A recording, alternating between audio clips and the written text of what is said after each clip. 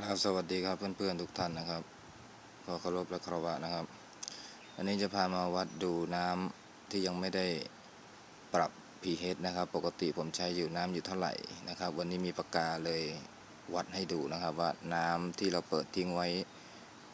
หนึ่งคืนหรือสองคืนก็แล้วแต่นะครับ อันนี้หนึ่งคืนนะครับ เปิดน้ำทิ้งไว้เนี่ยหนึ่งคืนเนี่ยน้ำจะอยู่ที่ 6.9 นะครับนะครับ น้ำที่เปิดทิ้งไว้เนี่ยอยู่ที่ 6.9 นะครับ ยังไม่ได้ปรับ pH down หรือ pH up นะครับ ทีนี้ปกติเนี่ยที่ผมไม่ได้วัดเนี่ย มันก็อยู่ประมาณเนี่ยครับ 6.9 นะครับ ทีนี้พอเราวัดเนี่ยก็ถือโอกาสว่าจะวัดอื่นๆให้ดูด้วยนะครับ อันนี้เราจะวัดไปที่เขาเรียกว่าอะไรค่า EC นะครับ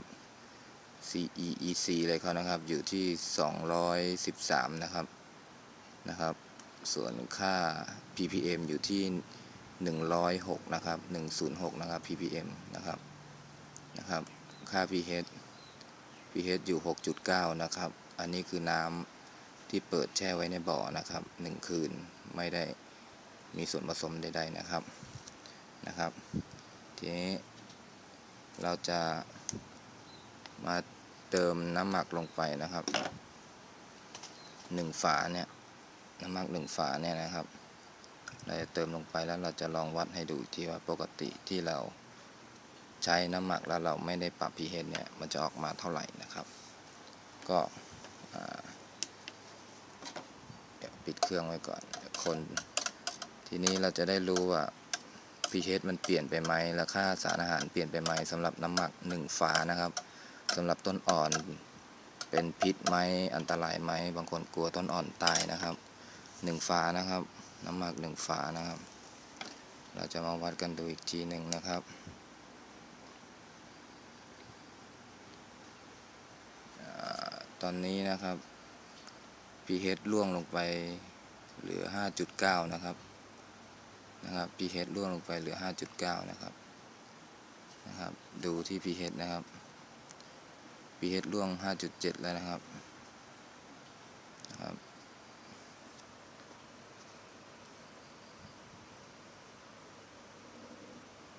ทีนี้เราาวัด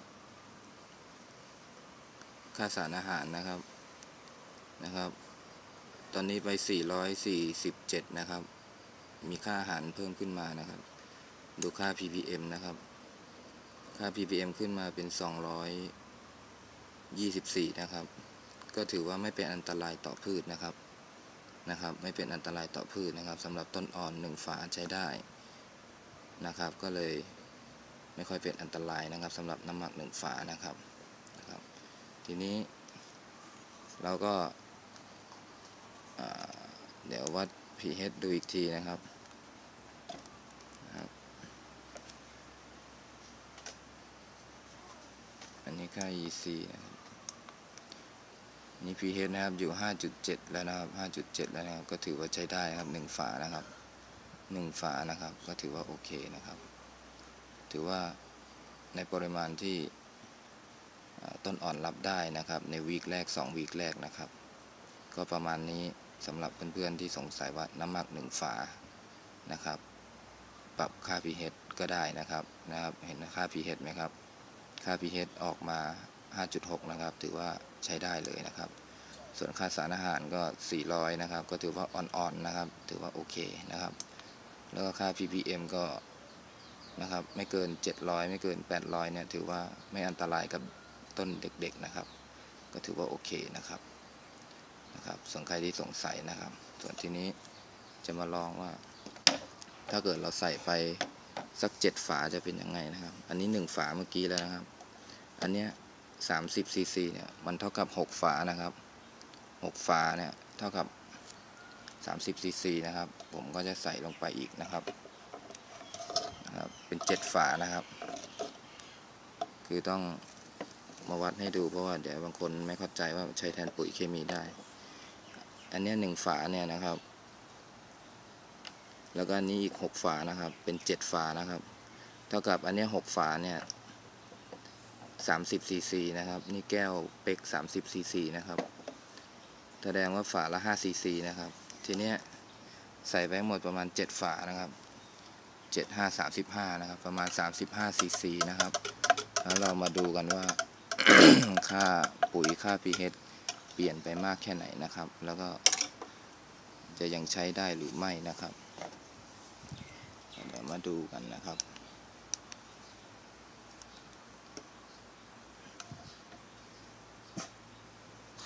ตอนนี้ค่า ppm กระโดดไปที่ 800 นะครับ ppm อยู่ที่ 800 นะครับ ค่า pH ร่วงลงมา 4.2 นะครับ pH ร่วงลงมา 4.2 นะครับ นะครับ เริ่มค่อนข้างอันตรายนะครับ ถือว่าเค็มนะครับ แล้วมาดูค่าอาหารนะครับ อยู่ที่พันหกพันเจ็ดนะครับ ค่าอาหารถือว่าเข้มข้นนะครับสำหรับน้ำหมักปลานะครับ นะครับ แต่ว่าค่า pH ค่อนข้างร่วงลงมาหน่อยนะครับ แต่ว่า ppm ก็ถือว่าได้ที่เลยครับสำหรับในช่วงอนุบาลเลเวล1อะไรเงี้ยใช้ประมาณ 700-800 นะครับเนี่ยก็ประมาณนี้ แต่ว่า pH จะร่วงลงมาหน่อยเหลือ 4.3 ถ้าไม่เจือน้ำเพิ่มก็ปรับ pH up ขึ้นนะครับ ให้มันได้ 5.5 นะครับ ก็ถือว่าใช้น้ำหมักได้ดีเหมือนกันนะครับ ถ้าเกิดมีเครื่องวัดอย่างนี้นะครับ ก็จะไม่อันตรายต่อรากต่อพืชนะครับ เพราะว่า pH เราจะได้รู้นะครับนะครับ ก็กดดูได้อย่างนี้นะครับนะครับนะครับ เครื่องกันเนี่ยขึ้นอยู่ประมาณ1,700นะครับ EC อันนี้ ppm อยู่ 800 นะครับ pH อยู่ 4.3 อันนี้ 7 ฝานะครับนะครับ ก็เข้มข้นขึ้นมาอีกนะครับนะครับ ก็ประมาณนี้สำหรับการใช้น้ำหมักถ้าวัดออกมาก็ประมาณเนี้ยครับ ก็ได้รู้ไปด้วยกันนะครับ ว่ามันวัดได้เหมือนปุ๋ยเคมีเลยนะครับ ก็สำหรับวันนี้ก็ฝากเรื่องการวัดค่าน้ำหมักนะครับ ที่ใช้แทนปุ๋ย AB หรือว่าปุ๋ยน้ำทั่วๆไปแล้วก็วัดดูนะครับ ก็ถือว่าใช้ได้เหมือนกันนะครับ วัดออกมาเป็นค่าได้เหมือนกันนะครับสำหรับวันนี้ก็ฝากเพื่อนๆไว้เพียงเท่านี้สำหรับวันนี้ขอลาไปก่อนสวัสดีครับ